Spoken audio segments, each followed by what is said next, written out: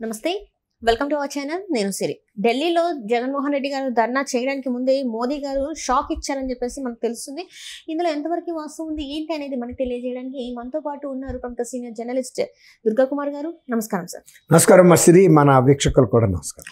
సరే ఇప్పుడు ఏంటంటే ఢిల్లీలో ధర్నాకి దిగబోతున్నారు జగన్మోహన్ రెడ్డి గారు. అంటే ఇక్కడ పార్లమెంట్ సమావేశాలు అంటే మనకి ఏంటంటే బడ్జెట్ సమావేశాలు జరుగుతున్నా కూడా దానికి అటెండ్ అవ్వకుండా ఢిల్లీలో ధర్నాకి అయితే దిగడానికి సిద్ధమవుతున్నారు జగన్మోహన్ రెడ్డి గారు.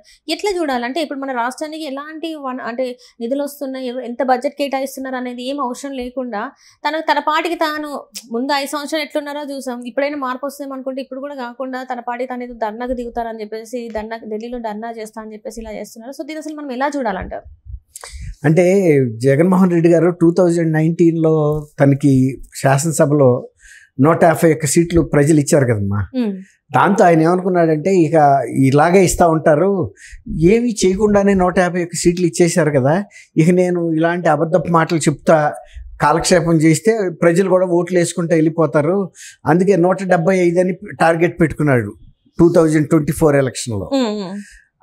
దాన్ని బట్టి ఒక ముప్పై ఏళ్ళ పాటు నేను ముఖ్యమంత్రిగా ఉంటానని మానసికంగా ఆయన ఫిక్స్ అయిపోయాడు.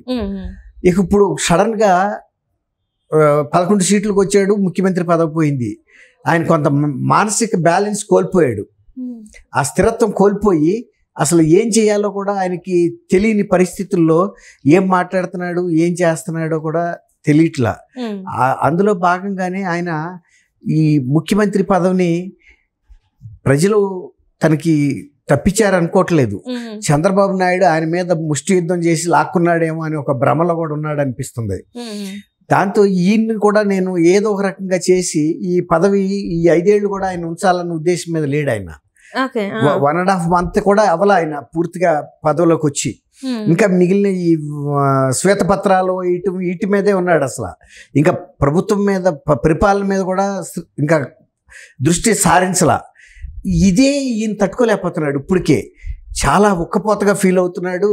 ఉమ్, స్థిమితం కోల్పోయినట్టుగా పాల్గొని ఇప్పుడు ప్రవర్తిస్తూ ఢిల్లీకి కూడా వెళ్ళిపోయాడు అప్పుడే. ఎప్పుడు వెళ్తారు ఢిల్లీకి? ఏదన్నా నిజంగా అసలు సమస్య ఉండి ఇది ఎక్కడా పరిష్కారం కావట్లేదు అన్నప్పుడు ఇక ఢిల్లీ స్థాయిలో ధర్నా చేస్తే కనీసం కేంద్ర ప్రభుత్వం దృష్టికి జాతి దృష్టికి తీసుకెళ్ళాలని ఇవాళ ఆయన అప్పుడే ఫస్ట్ ఫస్ట్ అటెంప్ట్లోనే ఢిల్లీ అందులో అక్కడ పార్లమెంట్ సమావేశాలు జరుగుతున్నాయి. వాళ్ళు కూడా ఈ ప్రభుత్వం ఎప్పుడు వచ్చిందో ఆ ప్రభుత్వం కూడా అప్పుడే వచ్చింది. వాళ్ళు కూడా మళ్ళీ ఎప్పటికప్పుడు కొత్త ఇల్లు మారినప్పుడల్లా అన్నట్టుగా ఇవాళ ప్రాధాన్యత అంశాలు ఏమున్నాయని వాళ్ళు వర్కౌట్ చేసుకుంటున్నారు మోడీ గారు. అందులో భాగంగా వాళ్ళు ఆంధ్రప్రదేశ్ గత ఐదు సంవత్సరాల్లో పరిపాలన లోపభూయిష్టంగా జరిగింది. అసలు పరిపాలన జరగలేదు. జరిగిందంత అవినీతే అక్రమాలే దాష్టికాలే అనే దృష్టి వాళ్ళకు వచ్చి ఇవాళ ఆంధ్రప్రదేశ్ మీద వాళ్ళు ప్రత్యేక దృష్టి పెట్టారు. అసలు అది కూడా ఆయన బడ్జెట్లో ఏం పెడుతున్నారని కూడా తెలుసుకోకముందే వెళ్ళిపోయి అక్కడ ధర్నా చేయాలని నిర్ణయించుకున్నాడు. ఇది ఎట్లా ఉందంటే రాష్ట్రపతి పాలన పెట్టాలని ఆయన ఉద్దేశం. రాష్ట్రపతి పాలన పెట్టే బదులు అసలు ఆ ప్రభుత్వం ఏదో నాకు ఇచ్చేస్తే అయిపోద్ది కదా అనేది ఆయన అసలు కోరిక. ఈ చంద్రబాబు నాయుడు గారిని పదవిలోంచి దించేసి ఆ ప్రభుత్వం నాకు ఇచ్చేస్తే నేను చేసుకుంటా కదా అనేది ఆయన దృష్టి కనపడుతుంది. ఇవాళ ఆయన జాతీయ స్థాయిలో కనుక వెళ్ళి ప్రదర్శన చేస్తే ఫస్ట్గా వచ్చే క్వశ్చన్ ఏంటంటే ఈయన ఎందుకు ప్రదర్శన చేస్తున్నాడు? అంటే ప్రభుత్వ పరిపాలన బాగాలేదు కూటమి పరిపాలన. కూటమి ఎవరెవరున్నారు? జనసేన తెలుగుదేశం బీజేపీ జనసేన. మూడు పార్టీలు ఉన్నాయి. కేంద్రంలో పరిపాలనలో ఉన్న పార్టీ కూడా ఇక్కడ భాగస్వామి. అక్కడ కేంద్రంలో కూడా ఈ తెలుగుదేశం భాగస్వామి. ఇప్పుడు ఆయన ఎవరిని తప్పు పట్టినట్టు? మోడీ గారిని కూడా తప్పు పట్టినట్టే. మోడీ గారు కూడా వైఫల్యం చెందాడని. ఆయన వైఫల్యం చెందిన వ్యక్తి అయితే కేంద్రంలో మూడోసారి ప్రధానమంత్రిగా ఎలా ప్రమాణ స్వీకారం చేస్తాడు? దేశం ప్రజలు మొత్తం కూడా ఆయన్ని ఒప్పుకున్నారు. నువ్వు నూట యాభై ఒక్క స్థానాలు సాధించి ఒక్కసారి ఐదేళ్ళు పూర్తి చేసావు ఎప్పుడు ఐదేళ్ళు వస్తాయని జనం ఎదురు చూసి వెంటపడి నిన్ను బటన్ నొక్కి పదకొండు స్థానాలకు పరిమితం చేసి కనీసం నువ్వు ప్రజా ప్రతిపక్ష పార్టీగా హోదా లేకపోయినా ప్ర ప్రతిపక్ష పార్టీగా ఉండమని ఆ స్థానం ఇచ్చినప్పుడు నువ్వు ఒక్క రోజున అసెంబ్లీలో కూర్చున్నావా? ప్రజల సమస్యలు విన్నావా? ప్రజా సమస్యలు చెప్పావా? అక్కడికి అయ్యన పాత్రుడు గారు ఏం చెప్పాడు? నువ్వు నీకు ప్రతిపక్ష హోదా లేకపోయినా సరే ఉన్నదే నువ్వు కాబట్టి ప్రతిపక్షం ఇంకెవరు లేరు ఇక అక్కడ. ఆ పదకొండు స్థానాలు మిగిలిన నూట అరవై నాలుగు స్థానాలు వాళ్ళకే ఉన్నాయి. కూటమికి డె- నూట డెబ్బై ఐదులో. నీకు ప్రజల సమస్యలు కనుక నువ్వు ప్రస్తావిస్తానంటే నీకు ఆ శ్రద్ధ ఉంటే ప్రజల పట్ల నీకు ఆ చిత్తశుద్ధి ఉంటే నేను నీకు ఆ టైం ఇస్తాను. నువ్వు సద్వినియోగం చేసుకున్న కొద్దీ నీకు నీ టైంను పెంచుతాను నిన్ను ఆదరిస్తా అని చెప్పాడు. కానీ అసలు ఆ అయ్యన్న పాత్రుడు గారు స్పీకర్ అని ఆయన అనుకోవట్లేదు. అంతకుముందు ఆయన ఇంటి మీద దాడి చేసి ప్రహరీ గోడ పగలగొట్టి అరెస్ట్ తీసి చేసుకెళ్ళిన అయ్యన పాత్రుడు గారే కనపడుతున్నాడు కానీ ఆయన ఒక రాజ్యాంగ పదవిలో ఉన్నాడు స్పీకర్గా ఉన్నాడు. ఆయన చెప్పిన మాట నేను గౌరవించాలి విలువ ఇవ్వాలన్నది కూడా ఆయనకి అసలు ఏ మాత్రం కూడా లేదు. నిన్న శాసనసభలో గవర్నర్ గారి ప్రసంగం జరుగుతుంది. ఎప్పుడైనా ఆయనకి తెలియని విషయం కాదు. ఆయన ఐదేళ్ళు ముఖ్యమంత్రిగా ఉన్నాడు. శాసనసభ ప్రారంభంలో బడ్జెట్ సెషన్స్లో కానీ ఎప్పుడైనా ముందు గవర్నర్ స్పీచ్ ఉంటుంది. గవర్నర్ స్పీచ్ ప్రభుత్వం రాసిస్తుంది. అదే చదువుతారు ఆయన. ఆయన చెప్పినవన్నీ అబద్ధాలని ఈయన మా విమర్శిస్తాం అప్పుడే. ఆగస్టు పదిహేను నుంచి అన్నా క్యాంటీన్లు ప్రారంభం చేస్తాము అని చెప్పాడు ఆయన. అది తప్పంటాడు. అన్న క్యాంటీన్లు అడుగు తినేవాళ్ళని వాళ్ళ ప్రతినిధులు మాట్లాడుతున్నారు ఆయన శాసనసభ్యులు భిక్షగాళ్ళని. అసలు ఎవరన్నా పథకాన్ని ఉపయోగించుకునే వాళ్ళు ప్రభు ప్రభుత్వం అంటే ఏంటి? ప్రజలే కదా. ప్రజలు ఎన్నుకున్నదే ప్రభుత్వం. ప్రభుత్వం ఒకటి ప్రజలు ఒకటి కాదు.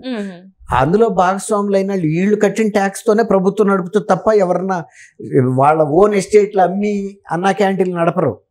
ఇప్పుడు ఈయన మూసేశాడు. పని అప్పుడు బొత్స సత్యనారాయణ గారు ఏం చెప్పాడు? వైఎస్ఆర్ క్యాంటీన్లు పెడతామని చెప్పాడు. రాజన్న క్యాంటీన్లు పెట్టండి రాజన్న క్యాంటీన్లు పెట్టినా బాగుండేది. ఒక రెండు మూడు నెలల్లోనే మేము పెడతామని చెప్పాడు. కానీ వాళ్ళు పెట్టనే పెట్టలేదు. ఇవాళ ప్రజల్ని భిక్షగాళ్ళు దాంట్లో తినే వాళ్ళని కించిపరుస్తా మాట్లాడుతున్నారు. ప్రజలని వాళ్ళు అసలు వాళ్ళకి దృష్టిలో ఆంటల ఓట్లు ఎలక్షన్ వచ్చినప్పుడు ఓటేస్తే చాలు. మమ్మల్ని అధికారంలో పెడితే మేము మా పని మేము చేసుకుంటామని. ఇవాళ ఆ విధమైన దృక్పథంతో ఉన్న వ్యక్తి ఇక్కడ ఆగలేక ఇవాళ శాసనసభ మొదలైనప్పుడు ప్రజల సమస్యలు అనేకం ఇప్పుడు ప్రభుత్వం ఏదైనా నీ మీద ఏదైనా తప్పు చెప్పినా నువ్వు ఖండిస్తానికన్నా అక్కడ ఉండాలి కదా. గత ఐదేళ్ళలో ఈ ప్రభుత్వం అది చేసింది అది చేసింది అని చెప్పడానికి అవన్నీ వదిలేసి వాళ్ళందరినీ వేసుకుని పొలోమని ఢిల్లీ ఢిల్లీ వెళ్తున్నాడు. ఢిల్లీలో జరిగేది ఏంటంటే ఢిల్లీలో ఇవాళ జగన్మోహన్ రెడ్డి ఐదు సంవత్సరాల ముఖ్యమంత్రిగా ఉన్న వ్యక్తి ఇప్పుడే ఢిల్లీలో వచ్చి ఎందుకు చేస్తున్నాడు? ఏం జరిగిందని? గత ఐదు సంవత్సరాల్లో జరిగినప్పుడు ఏ రోజు కూడా మరి. వెళ్ళలేదుగా అప్పుడు దేనికైనా అభివృద్ధికి ఒకవేళ నిధులు ఇవ్వకపోయినా కూడా గట్టిగా అడగలేదు కదా? ఎందుకు అడగలేదు? పదిహేను వందల ఎనభై ఎనిమిది మరణాలు జరిగినాయి. ప్రభుత్వం మూలాన హత్యలు కానీ లేకపోతే ప్రభుత్వ ప్రేరేపణించిన ఆత్మహత్యలు కానీ మహిళలు ఎక్కువ మంది చనిపోయారు. తర్వాత బీసీలు మూడు వందల మంది చనిపోయారు. ఎస్సీలు ఎస్టీలు మైనార్టీలు తెలుగుదేశం కార్యకర్తలు ఒక డెబ్బై తొమ్మిది మంది హత్యకు గురయ్యారు. ఇవన్నీ ఎవరు చనిపోయినప్పుడు ఆయన వెళ్ళలేదు ఇప్పుడు వాళ్ళ సొంత చెల్లెలు ఏమడిగింది? సొంత బాబాయ్ వివేకానంద మర్డరప్పుడు ఎందుకు వచ్చి నువ్వు ఢిల్లీలో ధర్నా చేయలేదు? అది జరిగి ఐదేళ్ళు అయిపోతుంది. ఆ రోజు మరి వాళ్ళకి కూడా అది దాని మీద చర్యలు తీసుకోలేదు. నువ్వు ఐదేళ్ళు ఇక్కడ ముఖ్యమంత్రిగా ఉన్నావు. అప్పుడు నీకు మోడీ గారి ప్రభుత్వంతో చాలా అంటకాగావు నువ్వు. ఎందుకు ఆ హత్యా నేరాన్ని సాల్వ్ చేసి దోషుల్ని శిక్షించాలి కదా? అవేమీ చేయకుండా ఇవాళ వచ్చినందుకు ఆమె అడుగుతుంది కదా తర్వాత మొన్న జరిగిన హత్య మాత్రం ఏంటి వినుకొండలో? వాళ్ళ ఇద్దరు కార్యకర్తలు వాళ్ళ మనుషులే. వాళ్ళలో వాళ్ళకి వ్యక్తిగత విభేదాలతో చంపుకున్నారు. దాన్ని రాజకీయ పులు రంగు పులివి ప్రతిపక్షం చేసింది అంటున్నావు నువ్వు అంతకుముందు వివేకానంద రెడ్డి గారు వచ్చి మీ బాబాయ్ ఇది మీ కుటుంబ సభ్యులు చేశారు. అది నీవు చె- నీకు తెలుసు నీ కుటుంబ సభ్యులందరూ చెబుతున్నారు ఇప్పుడు. ఆ రోజు కూడా చంద్రబాబు నాయుడు గారిని అన్నావు. ఇతను అబద్ధాలు మాట్లాడటం అనేది ఒక అలవాటుగా మారింది. నువ్వు జాతీయ స్థాయిలో వెళ్ళి చెప్పినా కూడా అదే అర్థమవుతుంది. మోడీ గారు కూడా ఈయన చేసిన తప్పులన్నింటినీ కాపాడుకుంటూ దాదాపు నలభై కేసులు ఉన్నాయి ఈయన మీద సిబిఐ కేసులు. వాటిని ఏమి ఒక కంగుళం కూడా జరగలేదు. ఇవాళ వివేకానంద మర్డర్ కేసు కూడా ఆపింది కూడా ఈయనే. ఆయన అరెస్ట్ చేయడానికి కర్నూలు వెళ్తే కూడా అవినాష్ అవినాష్ రెడ్డి అవును అవినాష్ రెడ్డిని ఆపి ఎస్ఐతో ఎస్పీతో చెప్పి అరెస్ట్ చేయకుండా ఆపాడు. కాబట్టి మొగుడిని కొట్టి మోగసాలకి ఎక్కేది ఎలా ఉందో ఇవాళ జగన్మోహన్ రెడ్డి గారు ఇక్కడ ఇన్ని అకృత్యాలు చేసి ఈ పట్టుమని నలభై ఐదు రోజులు కూడా తెలుగుదేశం ప్రభుత్వం వచ్చి పరిపాలన మీద దృష్టి పెట్టక ముందే తను అవకతవకలు తను చేసిన అవినీతి అక్రమాలు ఈ హత్యలు ఎక్కడ బయటపడతాయి అని ముందెళ్ళి ఢిల్లీలో ధర్నా చేస్తున్నాడు. అది ఆయన కాళ్ళకి ఆయన బంధాలు వేసుకున్నట్టే అవుతుంది. దానికి మూల్యం ఆయనే చెల్లిస్తాడు